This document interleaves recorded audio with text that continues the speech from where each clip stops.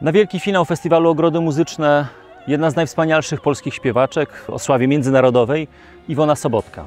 Iwona Sobotka wraz z hiszpańskim tenorem Dawidem Baniozem złożą wspólnie hołd Giacomo Pucciniemu, którego setną rocznicę śmierci świat muzyczny obchodzi w tym roku. Ostatni koncert festiwalu i wyjątkowy hołd wielkiemu twórcy operowego weryzmu.